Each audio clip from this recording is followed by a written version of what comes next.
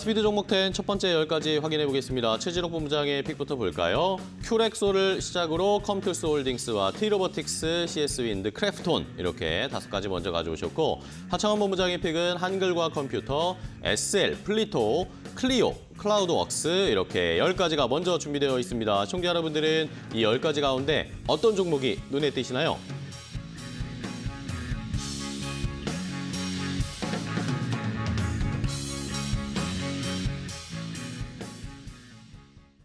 자, 좋습니다. 두 분이 이렇게 말씀해 주신 것처럼 다음 순서, 다음 순환매 순서가 올 만한 좋은 종목들을 여기저기서 가져오셨습니다. 10가지 시청자분들 잘 보셨죠? 이 종목들 가운데 여러분들이 가지고 계신 종목이 있으시거나 관심이 생겨서 어, 이거 나도 매수해보고 싶다. 매수가 목표가 알려주세요. 라고 질문을 주시면 됩니다. 유튜브 라이브 댓글창과 샵 3772번 문자 항상 열려 있으니까 지금 바로 질문을 주시면 되겠습니다.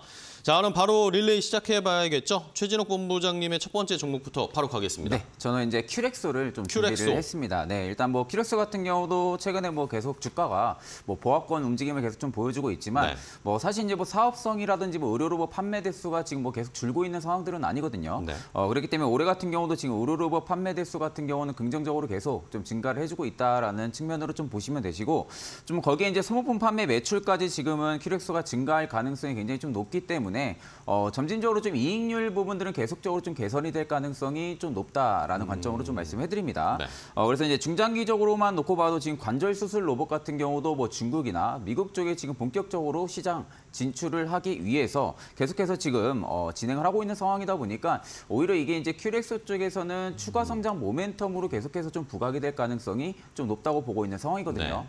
어, 그러면 이제 실적 성장과 토대로 외형 성장까지 같이 좀 나와줄 수 있는 그런 좀 어, 시기에 좀 놓여 있는 상황이다 보니까 현 시기에서 뭐 그렇게 큰 움직임이 없어도 충분하게 어, 분할 매수 관점으로 좀 접근이 가능하다라는 관점으로 좀 말씀해드리고 어, 결론적으로 이제 올해 같은 경우도 어, 핵심 의료 로봇 사업 부분들이 큐렉소 쪽에서는 좀 고성장세가 계속해서 좀 나와줄 가능성이 좀 높다고 보고 있는 상황입니다. 네. 뭐 아직까지는 로봇 쪽까지는 사이클이 돌아준 상황이지만 뭐 의료 로봇 쪽 같은 경우는 아직 좀 사이클이 크게 돌아주고 있는 상황들은 아니다 보니 오히려 지금 이제 거래대금들이 축소가 되면서 계속해서 지금 쉬어가는 모습들을 보여주지만 오히려 좀 순환매가 충분하게 좀 돌아준다라고 하게 되면은 큐레소 같은 경우도 충분히 어, 성장성은 계속해서 좀 부각이 될 가능성이 좀 높다고 보고 있는 상황입니다. 좋습니다. 큐렉소를 첫 번째 종목으로 소개해 주셨어요. 역시 말씀해 주신 것처럼 다음 순환매가 돌아올 때 상승 여력 보여줄 수 있을지 지켜봐야겠고 자 이번에 하차원 본부장님의 첫 번째는 뭐죠? 네, 한글과 컴퓨터입니다. 한글과 컴퓨터. 네, 오늘 좀 조정이 나오고 있는데 뭐 전반적으로 이제 반도체 쪽이나 뭐 이쪽에서 차익이 나오고 있어서 네. 같이 영향을 좀 받고 있다라고 보시면 음. 좋을 것 같고요.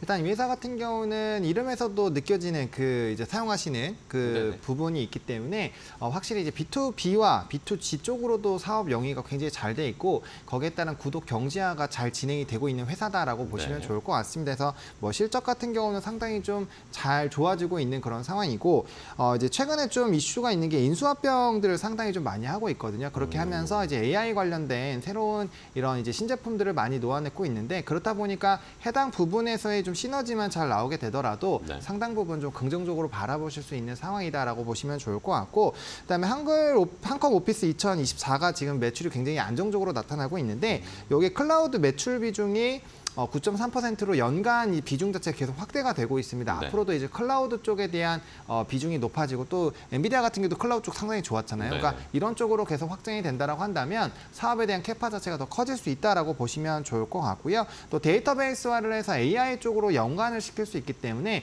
이 확장에 대한 기대감들도 높아질 수 있습니다. 그래서 이런 기조만 꺾이지 않는다라고 한다면 뭐 충분히 어, 순환매로 돌 수 있고 또 이제 상반기에 한컴 도큐먼트라든지 아니면 어시스턴트 베타가 또 출시가 예- 될 예정이기 때문에 네. 이런 신규 제품에 대한 기대감도 충분히 있다 아, 정도로 정리드리겠습니다. 네, 알겠습니다. 한글과 컴퓨터를 첫 번째 종목으로 소개를 해주셨고요. 자 이번에는 최진욱 본부장님 두 번째 알려주세요. 네, 저는 이제 컴투스 홀딩스를 좀 컴투스 준비를 홀딩스. 네, 했습니다. 뭐 일단 이제 컴투스 홀딩스 같은 경우도 최근에 굉장히 좀 조용한 모습들이 계속 좀 연출이 되고 있는 부분들인데 네. 일단 올해 같은 경우는 다양한 좀 신작 모멘텀까지도 일단은 좀 어, 대기 중인 상황이다 보니까 어, 컴투스 홀딩스 같은 경우는 일단 좀 저가 매수 메리트가 좀좀 크게 들어와 주지 않을까라는 관점으로 좀 말씀해드리고 일단 컴투스 홀딩스 같은 경우가 지금 모바일 게임 사업이랑 블록체인 쪽에 대한 이 사업성까지도 지금 영위를 하면서 지속적으로 사업 영역을 좀 꾸준하게 좀 확장을 하고 있는 상황입니다. 그래서 앞으로 지금 컴투스 홀딩스 같은 경우가 지금 신작 출시랑 다변화되는 좀 사업 구조로 인해 가지고 어, 본격적으로 좀 실적 성장성과 좀 외형 성장이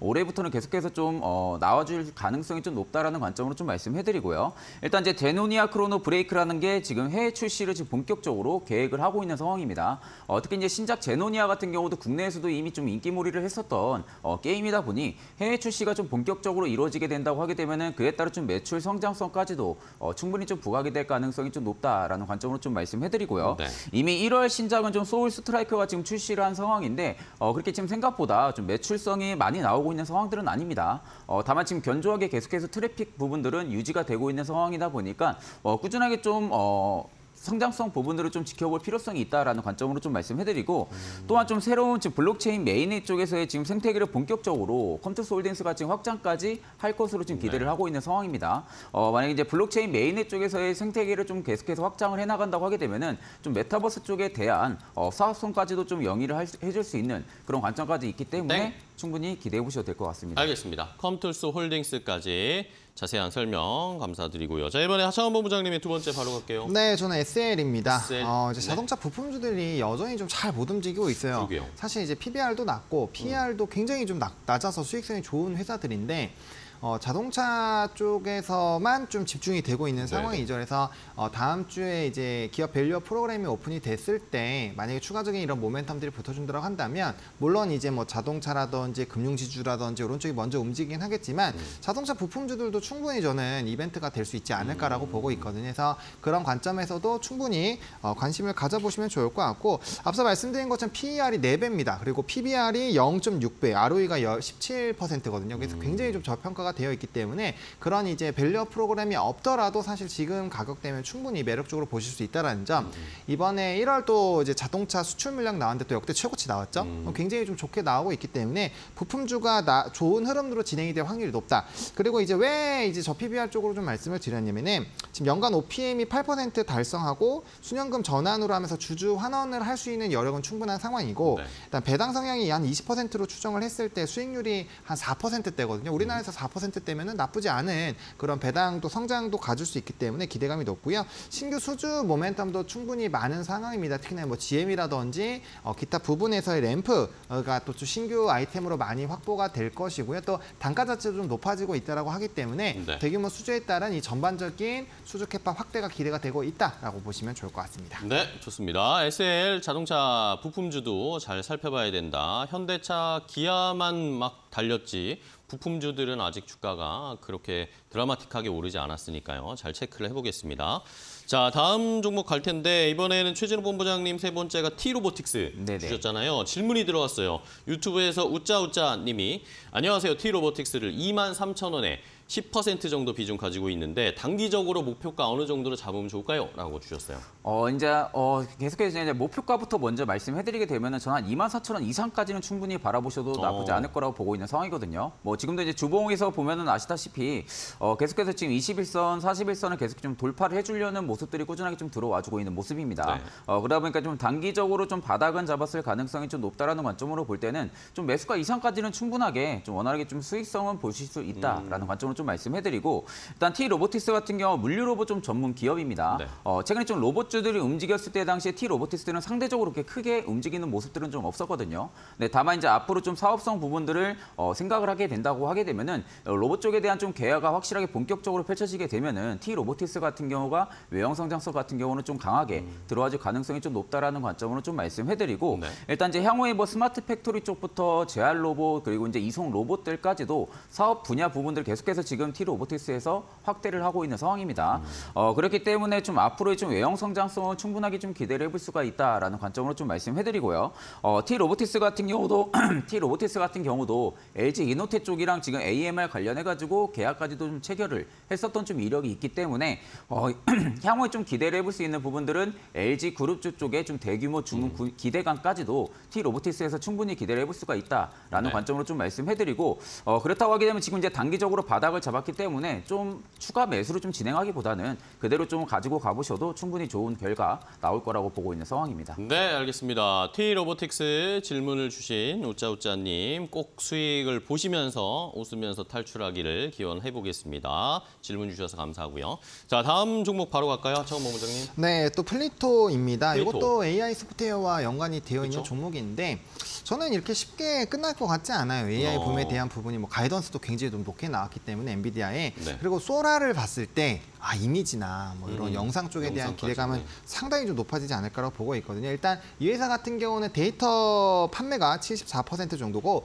플랫폼 서비스로 한 25%의 사업을 하고 있는데 음. 다들, 아- 다들 아시다시피 말- 말풍선 이제 부분으로 언어 번역을 한다거나 언어 데이터를. 어, 판매하고 하- 고 있는 회사입니다. 그래서 AI 학습에 필요한 데이터 부분을 좀 영위한다라고 보시면 좋을 것 같고 아직 이 시장 같은 경우도 계속적으로 확대가 되고 있는 상황이기 음. 때문에 뭐 충분히 조금 관심을 가져보실 필요가 있지 않을까라고 보여지고 있는 상황이고요. 어, 그다음에 생성형 AI에 따른 이 성장 기조가 이번에 이제 새로운 모델들도 나올 거고 우리나라에서도 진행을 하고 있는데 분명히 요구 데이터에 대한 양이 늘어날 수밖에 없는 상황이거든요. 그러한 환경이 마련이 되면 될수록 이 말풍선을 쌍으로 해서 판매를 해요. 뭐 어. 영- 영어랑 뭐 중국어 뭐 이런 식으로 쌍으로 네네. 해서 판매를 하는 회사이기 때문에 뭐 상당히 좀 기대감이 가질 수밖에 없는 상황이고 국내뿐만 아니라 지금 해외 IT 대기업들을 생- 어, 대상으로 해서 지금 이제 고객사들이 좀 다변화가 되려는 기대감도 있거든요. 그러면 구독 경제화로 또 진행이 될 수 있기 때문에 관련된 기대감이 좀 있다라고 보시면 좋을 것 같고 특히나 이제 단가가 높은 이제 마이너 언어 부분 쪽에서의 수익성이 상당히 좀 높아질 것이라는 전망도 나오고 있기 때문에 지역의 확대가 되면 될수록 상당히 좀 수혜를 받을 수 있는 종목이다라고 보시면 좋을 것 같습니다. 네, 좋습니다. AI 관련 플리토 하나 더 소개를 해주셨어요. 좋습니다. 이번에는 최진욱 본부장님의 다음 종목입니다. 네, 저는 이제 CS 윈드를 좀 준비를 CS 했습니다. 윈드. 네, 뭐 CS 윈드 같은 경우도 오늘도 좀 낙폭을 좀 보여주고 있는 상황이지만, 네. 뭐 최근에 좀 하락 기조가 좀 들어와주고 있기는 하지만 오히려 좀 거래 대금들이 터지면서 좀 하락 기조가 나와주는 부분들은 아니다 보니까 충분하게 좀 분할 매수 관점으로 좀 접근을 해보시는 것을 좀 추천을 드리고요. 일단 CS 윈드 같은 경우도 올해 이제 미국이라든지 베트남, 포르투갈 쪽에서 어, 법인을 지금 증설이 되면서 본격적으로 좀 외형 성장성까지도 좀 부각이 될 가능성이 좀 높다라는 관점으로 좀 말씀해드립니다. 그래서 이제 특히 이제 미국 법인 같은 경우가 지금 주요 고객사의 좀 물량 비중 확대에 따라 가 지고 오히려 좀 정상화될 가능성이 굉장히 좀 큰 국면에 지금 진입을 했다라는 관점으로 좀 말씀해드리고요. 어, 지금 이제 북미 법인 매출 부분들이 계속해서 좀 증가를 해준다고 하게 되면은 그만큼 이제 제조 생산 세액 공제도 확대가 될 가능성이 굉장히 좀 높습니다. 어, 그렇기 때문에 지금 CS 윈드 쪽에서는 충분하게 실적 성장성이 좀 두각이 될 가능성이 좀 높다라는 관점으로 좀 말씀을 해드리고 또한 지금 베스타스 같은 경우도 지금 4분기 실적이 안정적으로 계속해서 지금 지켜주고 있는 상황이거든요. 어, 그러다 보니까 이제 추가적인 상승 모멘텀 역시도 좀 지속 어, 여지가 될 가능성이 좀 네. 높다라는 관점으로 좀 말씀해드리고 어, 최근에 좀 신재생 쪽이나 풍력 쪽이 굉장히 좀 약한 모습을 계속 좀 보여주고 있는 상황입니다. 어, 다만 이제 앞으로 좀 중장기적으로 좀 놓고 본다고 하게 되면 CS 윈드도 지금의 주가가 좀 많이 빠진 상황이다 보니까 충분하게 분할 매수 관점으로 좀 긴 호흡으로 좀 가져가신다고 하게 되면은 충분하게 좀 고수익까지도 좀 바라볼 수 있지 않을까라는 관점으로 좀 말씀해드리고 현 주가 수준을 좀 세액 공제를 보수적으로 가정한다고 해도 어, 현재로서는 좀 저평가 국면이 아닌가 그렇게 생각을 하고 있습니다. 네, 알겠습니다. CS 윈드 오늘도 뭐 조정 받지만 오히려 좀 매수할 수 있는 기회가 오는 것 같다라는 의견을 주셨어요. 좋습니다. 하창원 본부장- 본부장님의 다음 종목으로 바로 갈게요. 네, 클리오입니다. 클리오. 네, 또 제가 이 얘기를 안 하면 또 서운하죠. 그래서 화장품 쪽으로 또 들고 화장품 왔고요. 가져오셨어요. 어, 최근에 또 흐름 되게 좋습니다. 네. 그래서 클리오를 또 갖고 왔고요. 일단은 뭐 실적은 뭐 단연 이전 H&B나 이런 화장품 OEM 쪽은 좋은 상황이 유지가 되고 있다라고 보시면 좋을 것 같습니다. 그래서 네. 올해도 두 자릿수 이상의 성장이 좀 기대가 되고 있고요. 음. 대부분 의 화장품 OEM이나 이런 HBM 쪽에서 강한 쪽은 두 자릿수에서 세 자릿수 뭐 상승이 계속 나와주고 있거든요. 네네. 근데 이게 한 분기에 이어진 게 아니라 뭐 3분기, 4분기 이어지고 있기 때문에 아 정말 우리나라 화장품 강하구나라는 음. 것들을 좀 느끼실 수 있고요. 어, 미국 같은 경우는 구달 청귤 비타 C 세럼이죠. 이게 엄청나게 성장을 하면서 음. 미국 부분이 매출이 84%나 성장이 됐고요. 뭐 일본이나 동남아 같은 경우 동남아도 83% 증가를 네. 했거든요. 그러니까 주요 지역에서의 성장이 좀 가파르게 나타나고 있다는 점이 좀 핵심이고 어, 우리나라 같은 경우도 마케팅 비용이 좀 효율화가 많이 되고 있습니다. 아무래도 올리브영이나 이런 쪽을 클리오 쪽 제품들이 꽉 잡고 있기 때문에 어, 거기에 따른 비용 절감들이 좀 어느 정도 나왔다라고 보시면 좋을 것 같고요. 그렇기 때문에 영업이익률 같은 경우도 11%대 달성이 좀 기대가 되고 있거든요. 그리고 국내에서도 어, 매출에 대한 이런 전체 캐파가 좀 상 승을 하고 있습니다. 지금 한 14% 정도 어, 성장을 하고 있고 그런 흐름들이 유지가 되지 않을까라고 보고 있기 때문에 국내적으로 안정적인 성장이 나타나고 있다라고 보시면 좋을 것 같고 면세 부분이 조금은 아쉬운 부분인데 최근에 카지노라든지 이런 쪽이 좀 일부 또 꿈틀꿈틀하긴 했거든요. 그럼 이제 또 관광객들이 많이 온다라고 한다면 면세에 대한 또 turnaround 기대감이 붙어줄 수 있다라는 점 체크를 해보시면 좋을 것 같고 어, 해외 매출이 결국엔 핵심이다라고 좀 정리를 드리도록 하겠습니다. 네, 알겠습니다. 역시 화장품 관련 종목 얘기하실 때 눈이 반짝반짝 빛나시네요. 잘 들었습니다. 클리오까지 들어봤고요. 자, 이번에 최진욱 본부장님의 다섯 번째는 뭐죠? 네, 저는 이제 크래프톤을 좀 준비를 크래프톤. 예, 네. 했습니다. 일단 뭐 크래프톤 같은 경우는 현재 뭐 배틀그라운드가 신규 맵을 좀 런칭을 하면서요. 또 이제 무기 스킨 도입 효과에 따라 가지고 올해는 아마 좀 크래프톤이 지속적인 좀 성장성이 좀 부각이 될 가능성이 좀 높지 않을까라는 관점을 좀 말씀해드리고 음. 네. 현재 뭐 배틀그라운드 같은 경우 트래픽 역시 계속해서 좀 증가를 해주고 있는 상태입니다. 어, 그래서 좀 올해 쪽 크래프톤 쪽에 좀 신작 출시까지도 지금 얘기- 예정 중인 상황이다 보니까 네. 좀 앞으로 견조한 성장성은 계속 좀 이어질 가능성이 좀 높다라는 관점으로 좀 말씀해드리고 또한 지금 이제 인도 시장 같은 경우도 배틀그라운드에 대한 추가적인 성장성까지도 크래프톤 쪽에서 충분히 기대를 해볼 수가 있다라는 관점으로 좀 말씀해드립니다. 어, 그래서 이제 올해 같은 경우는 다크앤다커 M과 좀 블랙버짓 등 다양한 신작 출시가 지금 크래프톤 쪽에서 예정이 되어 있는 상황이다 보니까 현재 지금 배틀그라운드에 좀 버금가는 어, 신작 게임들의 흥행이 충분히 지금 기대를 해볼 수가 있다라는 관점으로 좀 말씀해드립니다. 향후에 좀 신작 게임들의 성과에 따라 가지고 좀 주가의 움직임 그리고 방향성 부분들이 좀 정해질 가능성은 좀 높다라고 보지만 아직까지 좀 신작 기대 모멘텀이 크래프톤 쪽에서 좀 더해진다고 하게 되면은 충분하게 뭐 주가는 단기간에 좀 우상향 기준은 계속 좀 유지를 해줄 가능성이 좀 높다라는 관점으로 좀 말씀해드리고요. 일단 크래프톤은 지금 월봉 상으로만 지금 놓고 봐도 지금 뭐 5일선, 21선은 충분하게 최근에 좀 돌파를 해주면서 좀 원활한 상승 기조가 계속 좀 유지가 되고 있는 상황입니다. 어, 이제 다음 달인 3월이 된다고 하게 되면 이제 22평을 정확하게 좀 지지를 해주는 그런 국면이다 보니까 추가적인 좀 상승 모멘텀은 여전히 좀 부각이 될 가능성이 좀 높다라는 관점으로 좀 말씀을 해드립니다. 네, 좋습니다. 크래프톤까지 게임주로 다섯 번째 종목 알려주셨고요. 자, 하창원 본부장님의 다섯 번째도 바로 갈까요? 네, 크라우드웍스입니다. 크라우드웍스. 이것도 AI 쪽인데 네. 뭐 AI 쪽에 대한 관심이 굉장히 높다는 점 강조드리고 싶고요. 네. 일단 사실 신규 상장 주고 실적이 뭐 아직까지는 뭐 그렇게 좋은 것은 아닙니다. 음. 그래서 그쪽에서 조금 어, 나는 실적이 좋은 기업이 좋아라고 하신다면 과감하게 이제 패스를 하셔도 될 것 같고요. 대신에 이제 연간 적자 부분이 굉장히 많이 축소가 됐어요. 지금 영업 적자가 음. 1.4억 원인데 연간 실적으로 보면 적자 폭이 대폭 축소가 되고 이제 흑자 전환에 대한 기대감이 나타나고 있거든요. 네. 그래서 실적적인 부분에서도 충분히 좀 턴이 나오고 있다라고 보시면 좋을 것 같고 LLM 모델 개발 수주에 따른 증가가 나타나고 있기 때문에 거기에 따른 수요가 좀 많이 늘어날 것으로 예상이 되고 있는데 이쪽도 이제 고품질 텍스터 관련된 기반으로 좀 사업을 영위를 하고 있는 회사이다 보니까 어, 관련된 수요가 이미지나 음성, 비디오 시장이 소라 처럼 열리더라도 충분히 좀 수요가 나타나지 않겠느냐라는 평이 상당히 많이 나타나고 있습니다. 그래서 거기에 따른 기대감들이 충분히 있는 상황이다라고 보시면 좋을 것 같고 또 이제 자회사가 있죠. 닥터웍스 같은 경우는 국내 유일 의료 이제 LLM 솔루션을 가지고 있는 회사인데